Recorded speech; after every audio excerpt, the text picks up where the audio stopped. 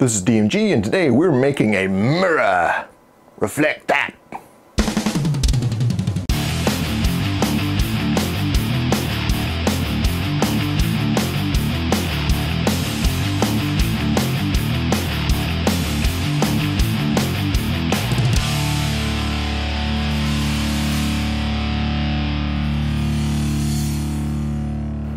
So a standing mirror. This uh, is going to require a small sheet of card stock and three lollipop tongue depressor sticks that you can get from a craft store or a supermarket or you've probably got a whole bunch left over from other projects we've done before. So then on one side of the cardboard we're going to stick all the lollipop sticks and then just trace down the side so we know exactly how wide it's going to be and then going to do two arcs and it's roughly going to be two and a half inches or five and a half centimeters and uh, then we're just going to uh, cut that out as a rectangle first. Don't cut out the circle. Then flip it over and run some hot glue around on the back. And we're going to place down the lollipop sticks right up to the edges right at the edge and then right up against each other.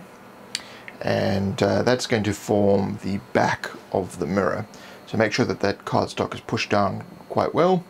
And then mark where the edges of the curves are on the sides on both sides so flip it over and do the other sides you're going to mark just where that curve is going to start and that's going to help you with guiding to um, apply these braces across the back so we're just going to put some hot glue down and drop on the um, matchsticks. So these are matchsticks without heads, um, also available craft stores. You can use matches, but obviously you want to cut the heads off. So there we go, weird rectangle shape with two prongy things sticking out. And then we just use the magic scissors to lop them off.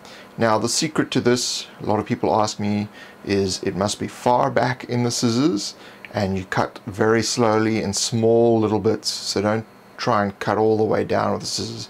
So you're moving it back and just very slightly cutting, moving back, etc., etc. Um, and that will stop the um, tongue depressors from actually cracking and breaking.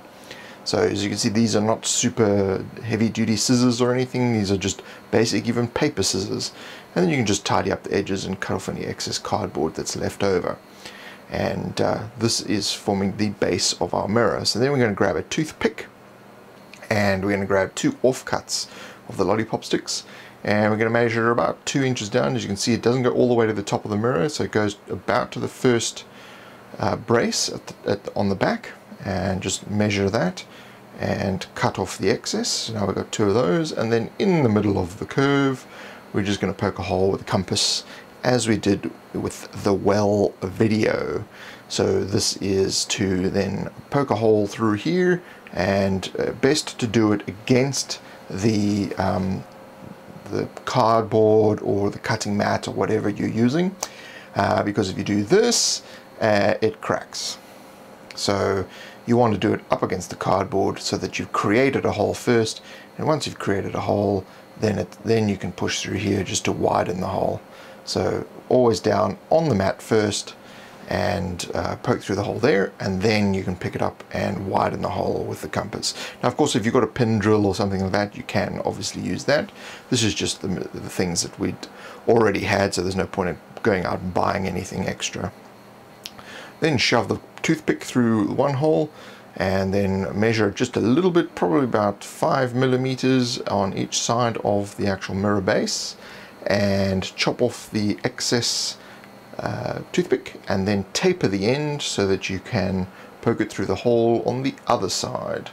And then twist in have it there and then cut off any sharp bits that may stick a child in the eye or a drunken adventurer and then we're going to grab some tinfoil and we're going to run some hot glue over the front of the cardstock on that mirror base and then shiny side up we're going to plonk the, the uh, tinfoil aluminium foil or aluminum foil, depending on where you are in the world.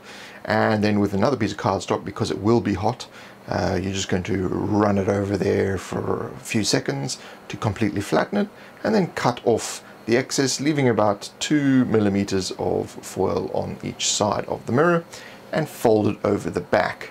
So uh, there you have the mirror itself and you'll see now that um, it's quite flat and shiny and the hot glue helps with um, keeping that flat.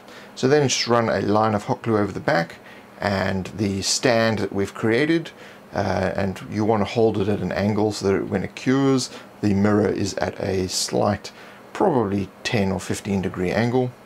And then with another lollipop stick we're just going to create a base for it to stand on hot glue on each side of that and then push the legs of that stand onto that hot glue and there we go we have the base stand. Now this will stand on its own um, as you see here but what we're going to do is actually create a better stand so hot glue along the bottom onto a piece of cardstock and uh, we're going to just grab a pair of scissors and cut a curve around there. You've seen this when we did the doors, we did this, and just cut right around. And then at the back, we just, you see there it's standing, we just want to cut off that curve so there's a little bit left, three or four millimeters left at the back. And then you have a mirror, standing mirror. So next thing we're going to do is grab just two pieces of masking tape and stick it lightly onto the surface of the mirror and this is to prevent the spray paint from actually affecting the mirror when we um, black bomb it. So now that we've black bombed it, we're going to then use all the techniques you've seen in wood before, so it's basically brown and yellow, and mixed to the consistency that you like. Paint all the wood areas, you can let some of the black show through, that's fine. And then dry brushing white, which is basically um, put white on the brush and then take as much of the uh, paint off as you can and then run it across the grain of the wood in order for that wood grain to actually jump out at you and we're just using boots of speed to shoot this along and on the edge of the mirror just paint white so that when you peel off the masking tape you now have a perfectly clean mirror and uh, voila so we haven't painted the base uh, because if you're going to use this on any other sort of flooring, whether it be wood or something like that, it'll just look like a shadow. So that's how I make a mirror. Now, if you like these videos, you click the like button. You can also subscribe to the channel to see future videos. And at the end of the video, you'll see some of the community showcase that I've started doing. Now, you can also check me out on Facebook, Twitter, Google+, and there's an email newsletter on my website, thedmg.info. We'll also find a store if you feel like purchasing some products to help support this channel. It's one of those days when you look in the mirror and all you see is this.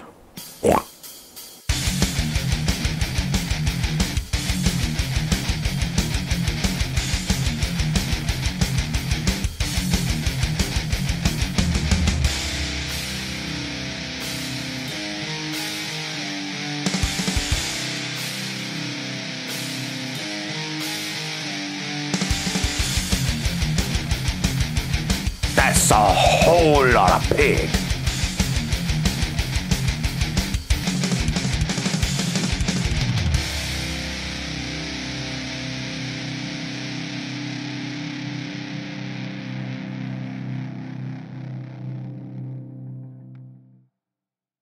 Guess what his name is?